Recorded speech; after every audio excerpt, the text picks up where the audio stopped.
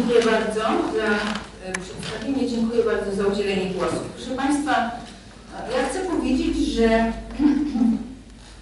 e, to, to badanie ma ogromne e, dla nas znaczenie. Bo inną sprawą jest to, że my czujemy, że ten system dobrze nie działa, a inaczej, kiedy dostajemy konkretne e, fakty i dane. E, oczywiście, chcąc powiedzieć e, krótko, e, to mogłam powiedzieć jedno zdanie. Czas bić na alarm. Tak? Zwłaszcza w aktualnej takiej sytuacji i przekazach medialnych, gdzie tak bardzo dużo mówimy o zdrowym starzeniu się. I mówimy o środkach na, dla ludzi starszych, łóżkach, pieniądzach itd. No, my musimy wiedzieć, że zdrowe starzenie to zaczyna się w zdrowym dzieciństwie, a tak naprawdę w życiu płodowym, ale dobrze, w zdrowym dzieciństwie. I teraz nie działa w ogóle profilaktyka. E, Te dane, e, które udostępnia NFZ, że jedna trzecia tylko wizyt profilaktycznych się odbywa, e, no to przecież straszne. Niezależnie od sposobu płacenia, warto zapytać, dlaczego właśnie nie jest w jakiś sposób to egzekwowane, a jeżeli widać już od lat, że ten system płacenia nie zdaje egzaminu, bo to, o co nam chodzi, e, nie działa i nie ma miejsca, no to najprościej, e, oczywiście wydawało się najprościej to, e, to zmienić. A więc czas bić na alarm. I ja dziękuję bardzo za te, również takie podsumowanie ekonomiczne z Pani strony, ale ja powiem Państwu, że wcale tak bardzo się nie cieszę tym, że stawka kapitacyjna wzrasta o 48%, bo wcale nie jestem przekonana, że wzrost stawki kapitacyjnej, jak z tego wynika, że to w ogóle cokolwiek zmieni. Ja już nie wierzę w to, choć to niezwykle przykre to stwierdzić, zwłaszcza, że mówię o kolegach pracujących w POZ, tam 73% to są lekarze pediatrzy, że jakość pracy e, ma być uzależniona od, te, od jakości finansowania. Że badania dodatkowe nie da się zrobić bez środków, że to, to jest zrozumiałe, ale jakość pracy w sensie wywiązywania się z obowiązków. Przecież w ustawie o, o podstawie opiece zdrowotnej, jeśli chodzi o zadania, w miejscu jakbyśmy zobaczyli zadania lekarza POZ, to tam na pierwszym miejscu jest profilaktyka. Profilaktyka. A jeżeli ona nie jest czyniona, niewątpliwie ten okres Pani do pięciu lat, bardzo dobrze, ale trzech pierwszych lat życia, to okres krytyczny w życiu człowieka, to od tego, a, czy a głównie żywienie, ja się zgadzam, że żywienie jest niezwykle ważne, od tego, czy niedobór, czy nadmiar określonych składników w pożywieniu skutkuje programowaniem metabolicznym i wzrostem czynników ryzyka wystąpienia wielu chorób dietozależnych czy jeszcze czy innych w okresie późniejszym. No więc mówimy o prostym przełożeniu w tym okresie późniejszym. A zatem, tylko że to są obowiązki lekarza POZ, na każdej wizycie profilaktycznej, prócz mierzenia, ważenia, badania całego dziecka, musi się znaleźć pytanie o żywienie i ocena tego żywienia. Lekarz musi napisać i zalecenia żywieniowe. Musi wydać zalecenia, a więc co zmienić w tej diecie, a może nie zmieniać. Ale ka na każdej wizycie profilaktycznej tymczasem tego nie ma. Czy coś robimy w tym kierunku, żeby tę sytuację poprawić? No jeśli chodzi o e, szczelność i, i wykonywanie wizyt profilaktycznych, to, to niewiele mamy, my nie mamy takich narzędzi, ma je NFZ, ministerstwo. Natomiast jeśli chodzi o starania o to, żeby książeczka zdrowia była tym narzędziem takim porządkującym i wy, wymuszającym odbywanie wizyt profilaktycznych, staramy się o to.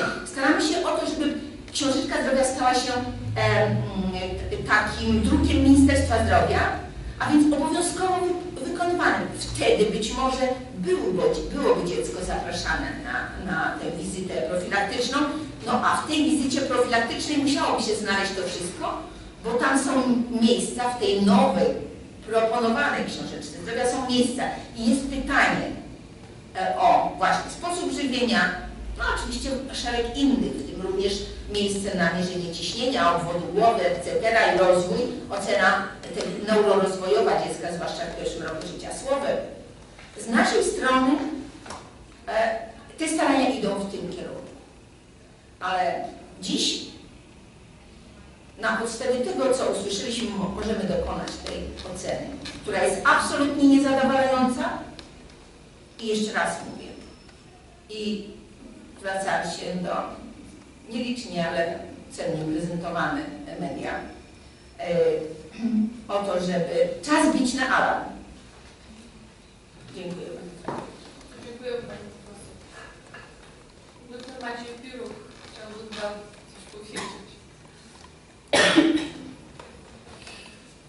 Bardzo dziękuję za, za zaproszenie. Y, Dziękuję i jest to przesada zaliczenie mnie do grona ekspertów. Jestem y, w imieniu pana y, prezydenta i kancelarii prezydenta i chciałbym pomóc. W związku z tym jestem bardziej słuchaczem. Natomiast rzeczywiście moja droga zawodowa może będzie mniej, mo- może będzie bardziej osobiście. Rzeczywiście predysponuję do tego, żeby z różnych punktów na to spojrzeć, ale to jest już dosyć daleka, e, daleka przeszłość.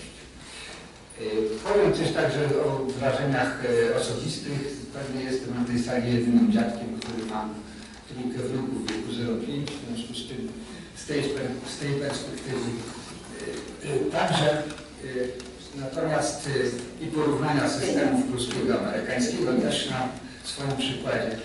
Także pozwólcie Państwo na kilka uwag, ponieważ y, ekspercko, y, ale także w rekomendacjach trudno y, jeszcze coś dodać. To są bardzo trafne spostrzeżenia i te wynikające z raportu, chociaż on do końca jest i, i dziękuję za w jednym miejscu wskazanie takie, że nie do końca jest reprezentatywny dla społeczeństwa polskiego, ponieważ niestety, niestety ludzie internauci blogerzy to to, to, to nie jest y, reprezentacja pełna i stąd ta uwaga na przykład o 37 czy 7, jeżeli chodzi o abon, y, rodziców korzystających z abonamentów, y, na to zwróciła uwagę. Bardzo dobrze, że NFZ, zresztą innego wyjścia nie ma, na szczęście udostępnia dane. Szkoda, że go tu nie ma, ponieważ wynika z tych wniosków i rekomendacji, że E, NFZ, płatnik, e, jest e, tym, który mógłby tę sytuację zmienić, wdrożyć i rekomendacje egzekwować.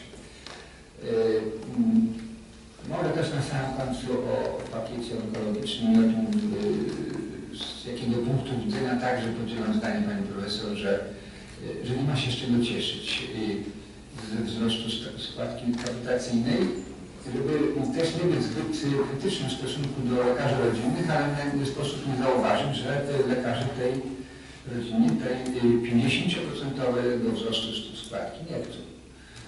Na razie jej nie przyjęli w swoich, w swoich or- organizacjach. W związku z tym y, tak, y, no, dwie rekomendacje wydają się absolutnie konieczne i, i takie na już. Książeczka zdrowia dziecka powinna być dokumentem, a nie reklamą i, i to w ogóle nie ulega y, y, y, kwestii i powinna być własnością rodziców, a nie ochrony zdrowia, pracowników ochrony zdrowia. Natomiast powinna być stworzona i być dokumentem pewnego rodzaju publicznym, to znaczy nie, na pewno nie reklamowym, w obojętnej formie, jakbyśmy chcieli pewnie elektronicznej głównie, ale może w papierowej na razie jeszcze, jeszcze też. Y, Z zagadnień zdrowia publicznego, ponieważ dlaczego też i to zainteresowanie y, prezydenckie. W zakresie zdrowia publicznego, polityki zdrowotnej czy polityki rodzinnej, patrząc szerzej, jest to jeden z elementów tej polityki i w związku z tym olbrzymie zainteresowanie i chęć tworzenia i organizowania zdrowia publicznego jako część i profilaktyki i promocji zdrowia jako części tego, tego zagadnienia i włączenia tego do polityki, y, do polityki rodzinnej, ponieważ zdrowie dziecka to może to pewnie truizm, ale jest y, oczywiście y, zdrowiem całej rodziny. Nie tylko jego przyszłości, o czym oczy- y, oczywiście też, o czym mówiła Pani Profesor, ale także i y, całego otoczenia. Y, Zwłaszcza choroba jest chorobą y, całego otoczenia. Mówię o tym z tych y, perspektyw y, własnej drogi życiowej jako lekarz pediatra, który tą funkcję w zakresie POZ-u wypełnił przez 10 lat, ale to było dawno, w latach 80. Natomiast y, w innych miejscach, ale w dalszym ciągu są kolosalne różnice i trzeba także o tym pamiętać, że jak jesteśmy w Warszawie i, rozmawiamy w Warszawie, to POZ w Warszawie, a POZ y, tam, gdzie ja pracowałem w gminie Wozim, y, w mieście i gminie Ozimek w województwie opolskim, to są dwie całkowicie różne sprawy. Może z innych powodów wtedy, y, z innych y, teraz, chociażby także z tego powodu, że na przykład tam po lat abonamentowych skądinąd całego sektora, który na szczęście jest, ale jest niezgodny z prawem, wszyscy udają, że, że się nic nie stało, na wszelki wypadek abonamenty nie są zgodne z prawem funkcjonującym w tej chwili Polsce, ale wszyscy łącznie z y, rządem udają, że, że tak nie jest. Więc na szczęście tak jest, bo gdyby tego nie było, to rzeczywiście byłby y, y, trach całkowity. Znaczy, to są ubezpieczenia dodatkowe, których, których nie ma ustawowo, o, to, o tym mówię. W miejscach, gdzie jest dużo gorszy dostęp do specjalistów, gdzie dziecko na szczęście trafia najpierw do pediatry, to są miejsca mniejszych miasteczek, miast tak zwanego terenu. Y, I także nieobecność firm e, abonamentowych, czyli, y, czyli dużych korporacji y, wchodzących do systemu, to także jest to miejsce. W związku z tym to też są często dwa różne światy. I druga rzecz, co w zakresie profilaktyki zdrowia publicznego i tej porady, która powinna być udzielana oczywiście w dużo większej jakości, jest zwrócenie uwagi na y, y, poradę dietetyczną w takich interwałach, w takich y, podobnych, o jakich Pani y, Prezes mówiła. Jest to absolutna konieczność. Pierwsza epidemia, czy pandemia otyłości, a epidemia w Polsce u dzieci jest koniecznością, która wymusza takie rzeczy. Obawiałbym się i nie chciałbym obarczać w tej chwili y, lekarzy czy lekarzy pediatrów tą y, koniecznością udzielenia porady z tego powodu, że y, mogło być gorzej niż, niż jest. Lekarze nie znają zaleceń dietetycznych, w związku z tym to powinna być fachowa porada. Mamy wiele, niektórzy mówią, że nadmiar. Nadmiar dlatego, że niewykorzystanych dietetyków, wykwalifikowanych ludzi, którzy powinni być zatrudnieni w systemie, tak jak zresztą absolwenci zdrowia publicznego, którzy powinni być zatrudnieni w profilaktyce, a nie czekać, aż będą dyrektorami szpitali. Y, I w związku z tym, y, y, jak gdyby ta konieczność i to włączenie i i opłacenie tego systemu też, a propos płacenia i egzekwowania tego, za co NFZ, jak się okazuje, płaci. NFZ, wszystkie inne grupy, bardzo, czy na przykład dyrektorów szpitali, czy pani dyrektor, y, wiedziała wie dalej, y, ja wiedziałem przez 11 lat, jak wygląda kontrola NFZ-u i czym y, to się wie i jak jest egzekwowanie tego, za co NFZ płaci i słusznie. W NFZ, w POZ się to nie dzieje. Dzieje. Jest to w tej chwili od kilkunastu lat, od zawiązania porozumienia zielonogórskiego, bardzo ostra e, e, i mocna grupa e, zawodowa, która, e, której NZ, e, można było powiedzieć, się boi. W tej chwili też na bieżąco mamy, e, to nie tyle NZ, może politycy, e, mamy tego, tego przykład. W związku z tym, jeżeli za to płacimy, no to egzekwujemy. Jeżeli to jest niewykonywane z różnych powodów, o tym nie mówiliśmy, ale czasami i bardzo często wizyta na przykład pielęgniarki nie jest oczekiwana przez wizytą przez rodziców. I chętnie z niej rezygnują, albo są zadowoleni, że pielęgniarka nie przyszła. E, Dlaczego? Ponieważ nie wierzą nie ma jakości tej wizyty i potrzeby tej wizyty. Więc to oczywiście nie jest y, jedyne te, ale, ale y, dobrze, jeżeli coś się nie odbyło, a jest coś zapłacone, to trzeba te pieniądze za to oddać. I tak się dzieje w każdym innym y, miejscu systemu y, y, w zakresie kontroli NFZ. Tak się nie dzieje w zakresie POZ. Y, I w związku z tym te większe środki, te, to, to, to jest onkologia, to jest to, o czym Pani mówiła, z tego nie wynika według mnie wzrost nakładów na to, o czym mówimy, a jak będąc konsekwentnym, można było powiedzieć ze względu na te poprzednie parę zdań, o których mówiłem, to, y, y, nie ma takiej potrzeby, jest tylko potrzeba wyegzekwowana, żeby to było wykonywane i żeby było odpowiedniej jakości. Y, Wyższa ocena, y, znaczy raport jest kapitalny, tam o, o, nim można by było bardzo długo, można by było bardzo mocno i ostro dyskutować na temat y, pewnych sformułowań, na przykład y, y, 6% y, z, y, y, najwięcej tam było w takim jednym ze 6% uwag do kompetencji lekarza jest to bardzo mało. Ja bym tego nie, y, ja bym tego nie, y, nie mówił, że to jest problem. Y, Że jest lepiej w POZ niż y, w, y, u lekarza prywatnego. Proszę Państwa, w Polsce w dalszym ciągu w 99% można raz jeszcze z przeciwkiem, to jest ten sam lekarz, tylko w innym systemie i, i, i czego innego się innego oczekuje i jest inaczej opłacony. W związku z tym też nie mówmy, że on jest e, niekompetentna publiczna i kompetentna prywatna czy, czy odwrotnie. I ostatnia rzecz e, rzeczywiście z, e, z jakichś tam doświadczeń własnych. Moja trójka wnuków jest w Warszawie i w Nowym. Mniej więcej w tym samym wieku.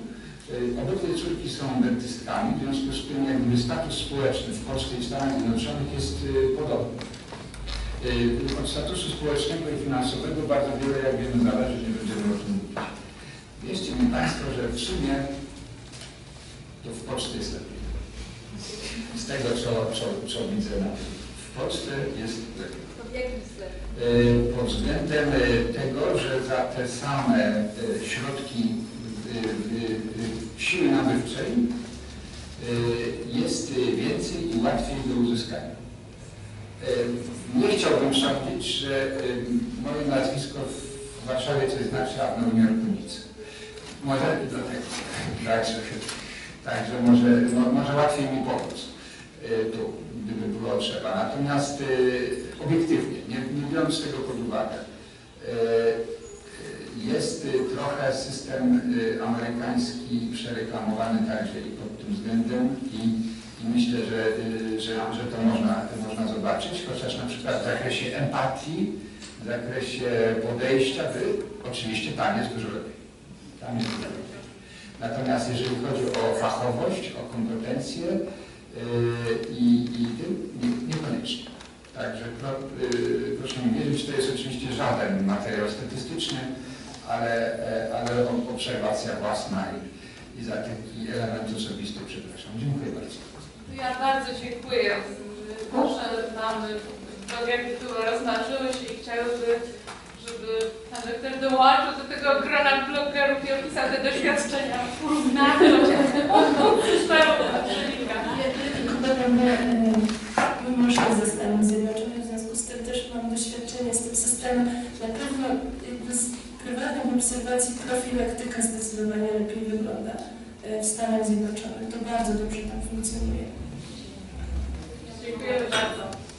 Y, Ja jeszcze tylko y, powiem, że odnosząc się do tego, co pan doktor Firuk powiedział,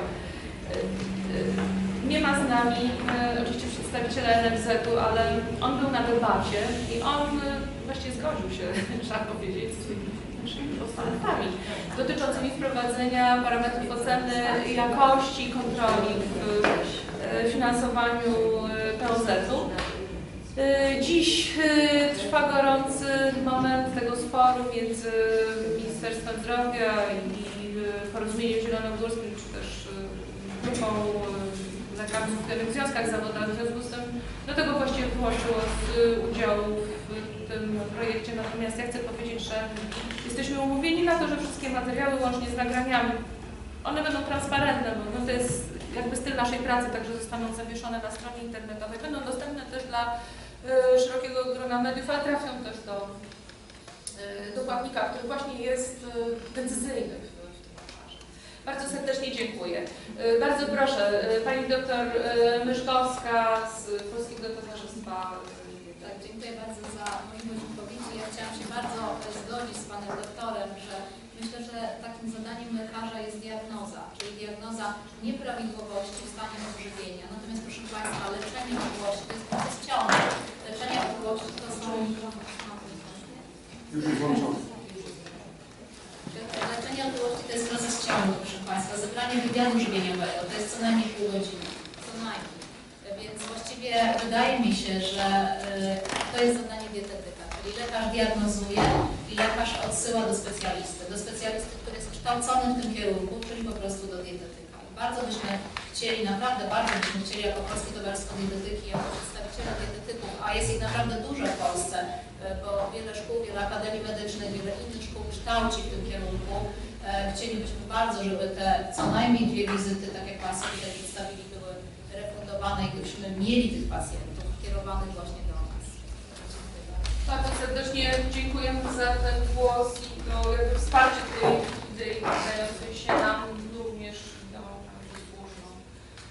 Pani doktor, coś z perspektywy konsultanta w zakresie y, pielęgniarstwa pediatrycznego. Trzy rzeczy, tak, trzy, trzy kwestie, na trzy kwestie chciałam zwrócić uwagę. Na początek e, bardzo serdecznie podziękować Państwu za e, inicjatywę e, zorganizowania tych badań, przeprowadzenia tych badań, bo e, w systemie e, ochrony zdrowia są trzy podmioty, trzech graczy. E, Pacjenci, mówimy o dzieciach, ich opiekunowie, świadczeniodawcy, czyli lekarze, pielęgniarki, położne, dietetycy i trzeci podmiot, ten gracz, to jest płatnik, ten, kto y, płaci. I teraz powiem przewrotnie, na początku XX wieku klasyk zarządzania jakością, amerykański zresztą, który e, potem po wojnie pojechał do Japonii i przemysł motoryzacyjny wyciągnął na, na, na górkę, e, Edward Deming mówił tak, każdy ma swojego klienta. I jeśli nie wie, kim jest ten klient i jakie są jego oczekiwania, to nie rozumie swojej pracy. E, I teraz e, Państwo jako rodzice dostarczyliście wiedzy świadczeniodawcom. Ja bym chciała, żeby każda pielęgniarka, no bo chciałabym się odnieść do pielęgniarek, ale i każdy lekarz, każdy podmiot, każda praktyka POZ-u, żeby takie badania w swoich grupach m, zrobiła i te, i te oczekiwania m, sprawdziła. E, Bo wówczas jest sens pracy. Na drugą rzecz, na którą chciałam zwrócić uwagę, to system kształcenia pielęgniarek w Polsce. My o tym chyba nie mówimy e, i zapominamy, bo to już w tej chwili są osoby z wyższym wykształceniem, ze specjalizacją, to są profesjonaliści. I albo wykorzystamy te kwalifikacje, albo powiemy sobie szczerze, szkoda tych pieniędzy na kształcenie. E, W systemie POZ-u są pielęgniarki, e, które zgodnie z rozporządzeniem ministra zdrowia powinny do 5 roku życia dziewięciokrotnie u dziecka przeprowadzać tak zwane testy przesiewowe. Powinny realizować wizyty patronażowe. I Ja ze swoich e, analiz wiem, że to wykonawstwo jest na bardzo miernym poziomie, ilościowym. I szkoda, że tak jest. E, Jedynym e, systemem, który, jedynym kierunkiem, który zmobilizuje do zmiany tego jest mieszany system finansowania. Nie ma innej e, drogi. Mało tego, poza wprowadzeniem finansowania, które powinno być wyłączone ze stawki kapitacyjnej, za patronaż u pielęgniarki połączony z instruktarzem pielęgnacji i żywienia niemowlęcia, e, należałoby wprowadzić wskaźnik, tak jak jest w tej chwili przy nowotworach, on się nazywa chyba wskaźnik wykrywalności nowotworów, wskaźnik odbytych wizyt patronażowych. Odbyty wskaźnik zapłacone, nieodbyty mniejsze środki. To samo kwestia przeprowadzonych testów przesiewowych. My mówimy w tej chwili o dziecku do 5 roku życia. Pamiętajmy, że profilaktyka jest do 18 roku życia. Potem jeszcze mamy pielęgniarki, środowisko nauczania i wychowania w szkołach. I dawno już e, na podstawie badań stwierdzono, że e, utrwalone złe nawyki w dzieciństwie przekładają się na większą zachorowalność w przyszłości. Mamy w tej chwili położyć większy ciężar na profilaktykę, na to, aby nasze dzieci były zdrowe, żeby miał kto pracować na nasze emerytury. I mówmy teraz o tym przy okazji tego pakietu onkologicznego. I to jest właściwie to, co, co chciałam powiedzieć. Je, jeszcze, jedna, jeszcze jedna rzecz. Edukacja zdrowotna dziwnym trafem przestała być świadczeniem medycznym. A, to też jest element, bo tutaj Pani Prezes była uprzejma powiedzieć, że rodzice odpowiadają za zdrowie dzieci.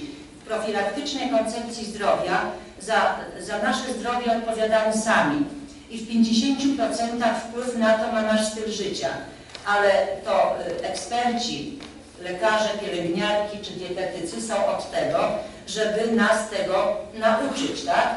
Więc tu jest jakby ta, ta nasza rola. I również no, tą edukację zdrowotną jako, jako e, skuteczną e, i e, można byłoby e, wycenić, można byłoby ocenić skuteczność tej edukacji, chociażby na podstawie uzyskanej wiedzy, efektów, zmiany zachowań zdrowotnych itd. E, No mamy co robić. Ważne, abyśmy to robili wspólnie i myślę, że, że ta Państwa inicjatywa w tym kierunku zmierza. Dziękuję. Bardzo serdecznie dziękuję. Czy Pani e, Elżbieta Karasek z Biura Rzecznika Praw Dziecka? Y, Proszę Państwa, dziękuję bardzo za zaproszenie i wydaje mi się, że większość rzeczy już tutaj, no, yy, że tak powiem, ważnych i, i konstruktywnych zostało powiedziane, natomiast rzeczywiście yy, głos rodziców to jest głos no, bardzo taki powiedziałabym no, świeży, to znaczy no tak, tak jest, tak jest. Ja chcę powiedzieć tak, z tego co tutaj usłyszałam, nie, nie będę powtarzała y, rzeczy, które Państwo mówili. Myślę, że bardzo ważne to jest pytanie, dlaczego my nie wykorzystujemy kwalifikacji pielęgniarek. To, to jest, my po prostu marnujemy ma- te pieniądze i, i, i dlaczego? Bo to się robi rodzaj błędnego koła, że jak rodzic otrzymuje byle jaką czy żadną poradę, no to nie chce po nią przychodzić, no bo po co? A przecież ta pielęgniarka naprawdę może różne rzeczy yy, załatwić. E, Druga sprawa, która mi się nasunęła, to jest taka, że po tym raporcie widzę, że byłaby potrzeba pogłębienia pewnych tematów. Yy, Nie wiem jak to zrobić, ale na przykład ja widzę ze które wpływają do naszego biura, że na przykład rodzic chce yy, czasami pomocy i porady, ale jeżeli ta porada byłaby na poziomie adekwatnym, świadczona przez pielęgniarkę, ja nie będę mówiła teraz przykładów, to on wtedy mówi nie chcę i chce do lekarza. I jakby trochę jest, yy, i tutaj trzeba, trzeba by się zapytać, dlaczego tak jest. No albo te pielęgniarki mają jeszcze zbyt mało ugruntowaną pozycję i opinię, ale to myślę, że myślę, że to by warto było zbadać. Kolejna sprawa no to rzeczywiście zmiana komunikacji. Nam wszystkim potrzeba i na i, innej rozmowy. I nawet tutaj, jak powiedziała Pani Prezes, kontrola, to ja bym zastąpiła to słowem współpraca. Musi być. To musi być tak, że lekarz otrzymuje informację zwrotną, przepraszam, musi, znaczy lekarz, mówię personel medyczny, otrzymuje informację zwrotną, jeśli jest ta informacja, no, na przykład taka, że nie tego oczekiwałem, musi sobie umieć z tym poradzić, proszę Państwa. Ja chcę powiedzieć, że ja mam poprzednie doświadczenia medyczne, ale także pedagogiczne i chcę powiedzieć, że taką, taką barierę przeszłam, kiedy na pytanie, co skorzystałeś z zajęć, y, słuchacze czy uczniowie powiedzieli nic, w ogóle. A, okej, no to po co mi jest ta wiedza, którą ja posiadam, jeżeli ja jakby nadal posiadam, no oni byli tłem tylko dlatego, że mi się wydarzyło. Myślę, że tu trzeba też o tym rozmawiać, bo tu myślę, że jeszcze yy, na podstawie skarg, które do nas wpływają informacji, trochę jest takie występowanie personelu medycznego z pozycji, nie wiem, nie wiem jak to powiedzieć, siły, kompetencji, nie przewagi, no w każdym razie yy, czegoś takiego, że i tak ten rodzic musi jakby się poddać mocy, a to wcale nie jest Teraz powiem yy, dosłownie króciutko, jakie, jakie rzeczy są prowadzone u nas w biurze rzecznika i właściwie wspólnie tutaj praca nad książeczką. No rzeczywiście to musi być dokument. Ja bym się cieszyła w końcu, żeby on stał się dokumentem, dokumentem, ponieważ on jest dokumentem. Um, następnie to jest sprawa standardów y, profilaktycznych i, i takiego wprowadzenia go do systemu, żeby jakby każde dziecko mogło oczekiwać tego samego, tak jak jest w sądach, że w sądach trzeba ale to, że w, ka w każdym miejscu polskim musi dostać to samo. No i sprawa mm, niegubienia dzieci w systemie. Myślę, że to jest problem tutaj y, y, 10% gmin, to, to, to, to ta liczba wydaje mi się przesadzona, ona mi się wydaje przesadzona, ale to, mm, to wiadomo, że, że to tak wyszło z badań. Natomiast y, znowu ze spraw, które wpływają do nas, i to jest myślę znowu problem do pogłębienia, że giną dzieci z jednej strony, dzieci z rodzin z trudnościami, że tak powiem, mm, to jest rodzina dysfunkcyjna, która, która ma pewne kłopoty. Ale z drugiej strony, po drugiej stronie jest rodzina bogata, wydolna, ale mówi, nie wtrącaj się do mnie, ja, yy, co ci obchodzi, co ja robię z tym, prawda? I tu jest taki ten dylemat, że te dzieci gdzieś, gdzieś one giną. W tej chwili już są wypracowane mm, przepisy, które spowodują, myślę, że one we- wejdą w życie, że już w momencie porodu trzeba będzie podać informację um, albo o położnej rejonowej, albo o lekarzu. Jeśli tej informacji z jakiegoś powodu ktoś nie będzie chciał podać, to do tej rodziny dotrze pracownik MOPS-u. I po prostu sprawdzi. On się będzie wtrącał, tylko sprawdzi, czy tam jest ok, czy to dziecko jakby zostało. Więc myślę, że to są takie moje uwagi, ale ja myślę, że to na pewno to, co się w tej chwili dzieje, bardzo, bardzo jest ważne i posuwa sprawy do, do przychodu po prostu. Także dziękuję bardzo. Tak, dziękujemy, dziękujemy, że, że Rzecznik Praw Dziecka jest z nami, czuwa nad nami, wie o nas, że też jest tyle chęć wola współpracy.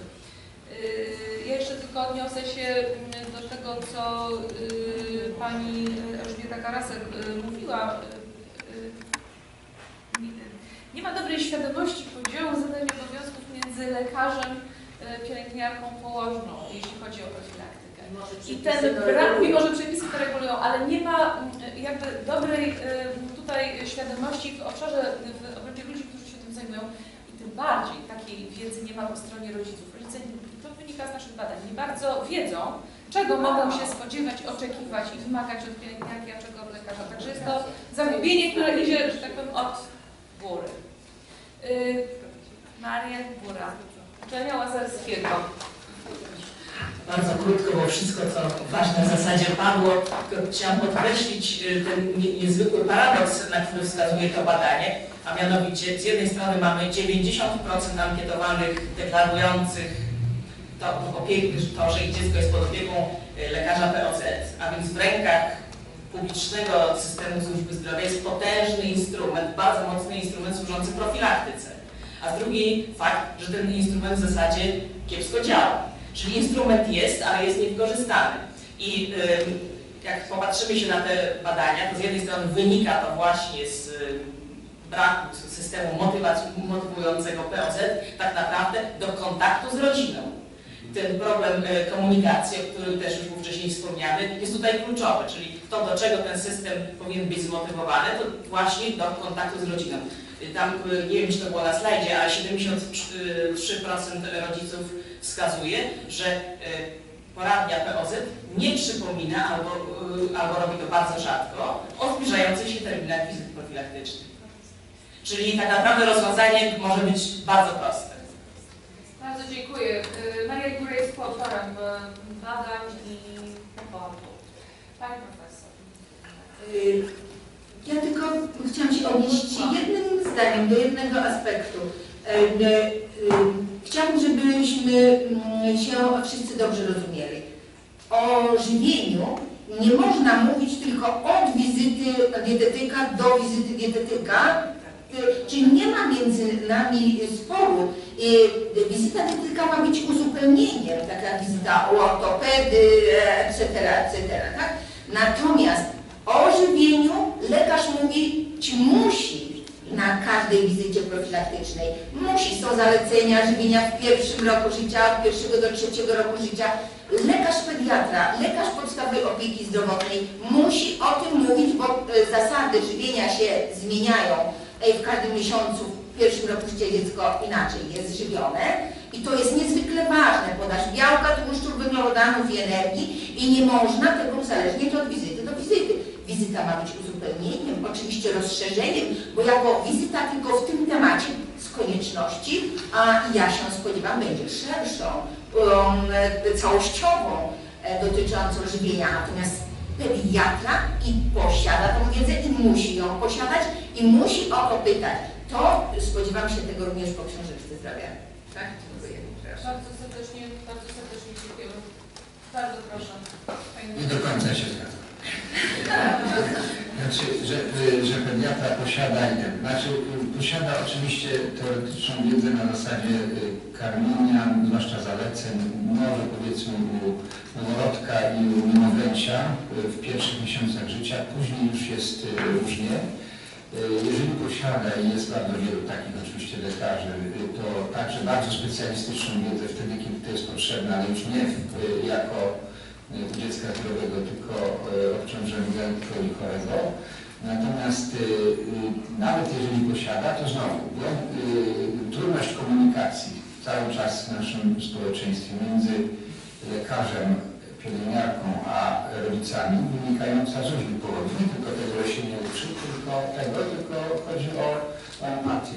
Lekarz powinien być przede wszystkim człowiekiem, a później do tego wykorzystywać swoją empatię, zwłaszcza w stosunku do dziecka i do rodziców y, zdrowych. W związku z tym, y, y, znowu, ja przepraszam za takie idee, ale po- ponieważ ze względu na raport i, i obecnych blogerów, to się trochę czuję jak internauta, w związku z tym Ja miałem olbrzymie wzięcie jako pediatra wtedy, kiedy sam robiłem mieszanki dla swoich dzieci, kiedy to robiłem, wiedziałem jak to robić i wiedziałem jak matce powiedzieć, jak to się robi, bo sam to robiłem.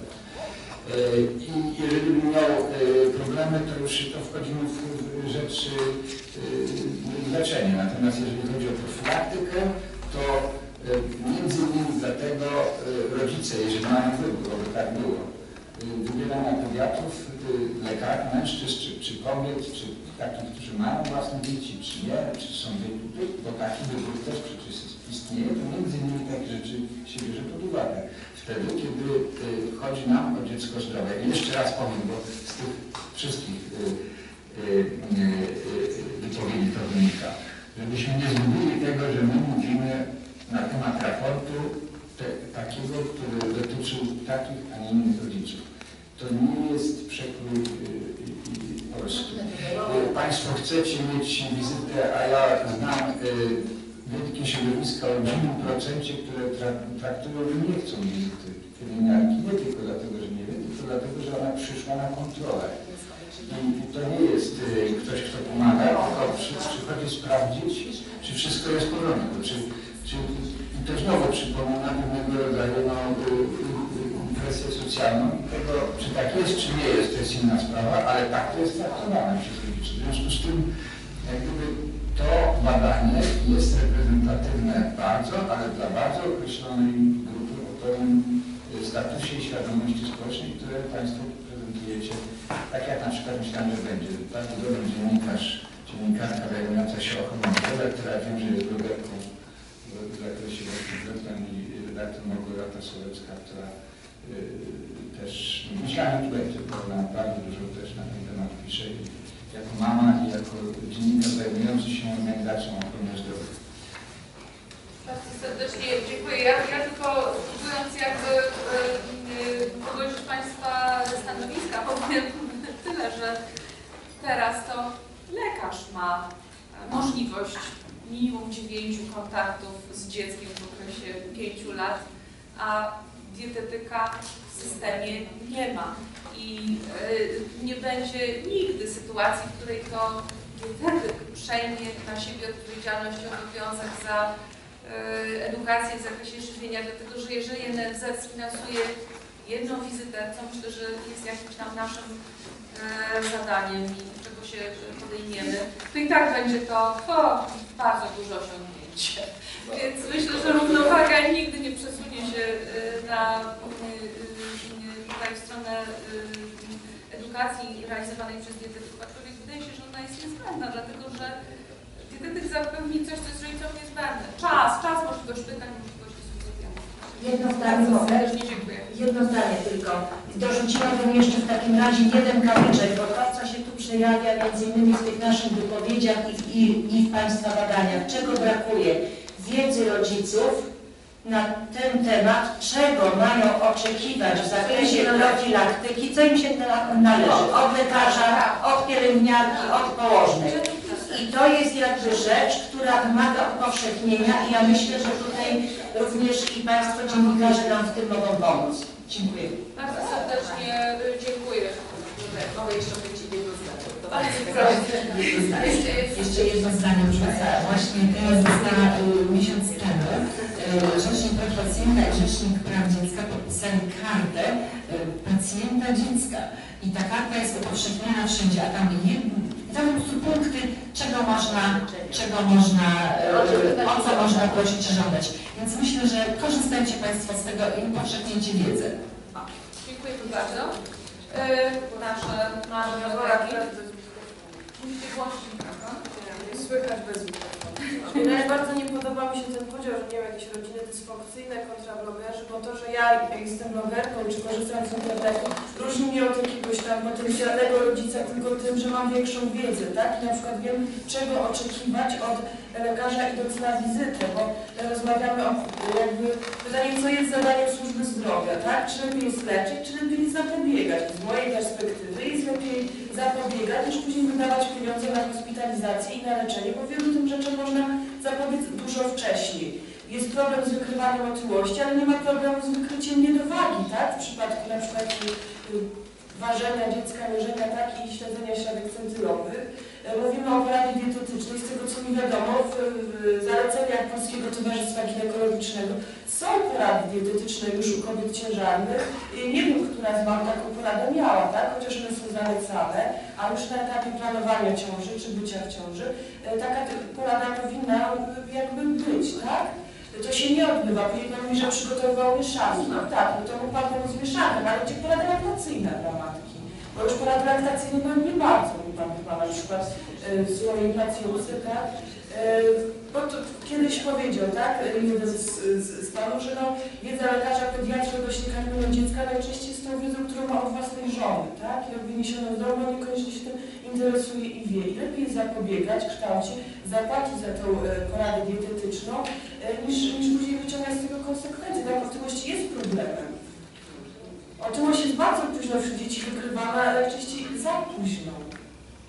I, I gdyby już była matka wcześniej przygotowana, to jest tak samo jak z karmieniem piersią. Nie ma porad laktacyjnych, a karmienie piersi jest profilaktyką przeciwko otyłości i u kobiet, i u dzieci.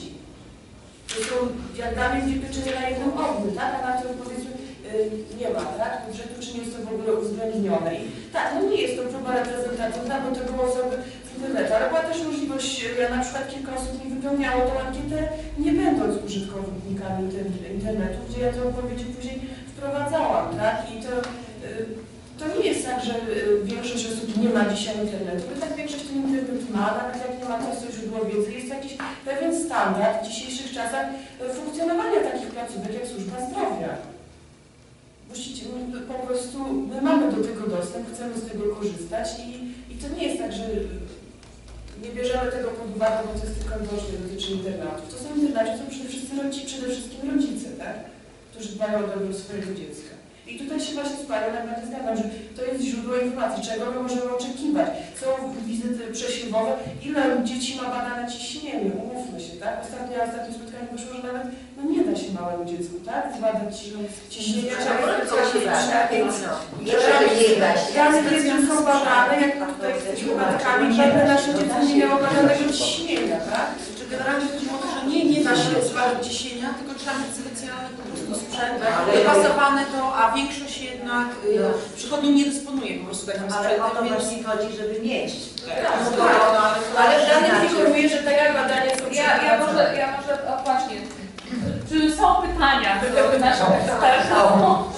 Ja, ja bym miał Bardzo prosimy taki dosyć gorący komentarz do tej wypowiedzi o ciśnieniu. Proszę Państwa, e, europejskie, amerykańskie zalecenia odnośnie e, właśnie badań ciśnienia mówią, że od trzeciego roku życia, także nie mierzy się ciśnienia dzieciom, które się mają 6 miesięcy. To oczywiście no ja wiem, ja wiem, ale to no, tak jest w Polsce, w Europie i w Stanach Zjednoczonych nie robi się tego, chyba że dziecko ma chorobę taką, którą jakby no, potrze potrzeba jest mierzenia tego ciśnienia, na przykład choroby nerek, prawda, w tym wieku jakby najczęstszą. Także w ramach opieki profilaktycznej y, mierzenie ciśnienia w pierwszym roku życia czy w drugim roku życia no jest jakby sporym odstępstwem od tego, jaka jest ogólna e, praktyka na świecie. No, jesteśmy jakby w tym w, tym, y, y, w tej sprawie no, dosyć mocno się różnimy od, od innych krajów. Y, Nie wiem czemu w zasadzie, no ale no, myśmy informowali o tym decydentnie. No, to powiem tak, że jeżeli się tego nie robi, to wtedy jest jakby dobrze, jakkolwiek pozostaje wtedy pra- pra- prawda, jakby niezgodność z y, tym oczekiwaniem, e, jeżeli chodzi o system y, nasz prawny, no bo to jest wpisane w rozporządzeniu ministra zdrowia. Y, Ale jeszcze chciałabym powiedzieć, że do trzeciego roku życia, a ja mam syna starszego, który też nigdy w życiu nie miał tego mierzonego. A, to powinien być mierzony. No więc właśnie, więc tak naprawdę. Myślę, że nie, żadna praktyka praktyką. Czy mamy y, jeszcze, Pani doktor, jeszcze, jeszcze Jeśli mogę, króciutko e, na temat e, e, profilaktyki, bo ja rozumiem, że, że działania profilaktyczne stanowią jakby szczególne zadanie, ale to zadanie, ono jeżeli chodzi o personel medyczny czy, czy profesjonalistów medycznych, ono jest mocno uwarunkowane jakby nastawieniem tych e, potencjalnych beneficjentów tej profilaktyki. To, pan doktor Piruk o tym e, jakby trochę wspominał. Ja powiem tak, że e, w prowadzonym od lat e, e, projekcie profilaktycznym czy e, programie profilaktyki raka szyjki e, macicy u kobiet zgłaszalność jest 20%, więc rozumiem, że, e, że jakby to, że e, 80% e, osób, które są zaproszone, dostają e, e, do domu e, list ze wskazaniem miejsca, telefonu również, gdzie można się umówić na konkretny e, termin, z tego jakby rezygnuje. E, No być może warto by, bo e, Państwa raport pokazuje oczywiście ważną stronę, czyli jakby to, e, jak to funkcjonuje e, po stronie e, systemu ochrony zdrowia. E, e, Natomiast e, sam system ochrony zdrowia, jeżeli chodzi o profilaktykę, no to on jest po prostu e, mm, e, mocno uwarunkowany tym, jaka jest chęć uczestnictwa e, w takich e, działaniach o charakterze profilaktycznym. My mamy teraz e, projekt e, szwajcarski, gdzie e, prowadzimy żywieniową promocję e, m, zdrowia dla kobiet w ciąży i bardzo wiele pań w ciąży rezygnuje po prostu. Porada jest bezpłatna, otrzymują e, materiały edukacyjne, nie chcą w tym uczestniczyć. Znaczy nie ma zainteresowania. To jest nasz problem aktualny. No właśnie, z własnego doświadczenia mogę powiedzieć ze strony dietetyka, że tutaj dla odmiany wsparcie lekarzy jest bardzo istotne, dlatego że zmiana nawyków żywie- żywieniowych jest jedną z najtrudniejszych rzeczy. E, I e, nieraz właściwie sama porada dietetyczna jest oczywiście bardzo ważna, ale takie wsparcie ze strony lekarza, że jest to istotne, rzeczywiście jest to istotne, e, taki autorytet lekarski, który jest naprawdę, e, to by był też bardzo przydatny. I być może tutaj jeszcze kwestia, bo tutaj Państwo chyba, e, to położne, chyba pielęgniarki położne udzielają tych porad, jest z tego No, co również. Lekiem na wiele spraw jest zatem po prostu zapewnić ludzka współpraca.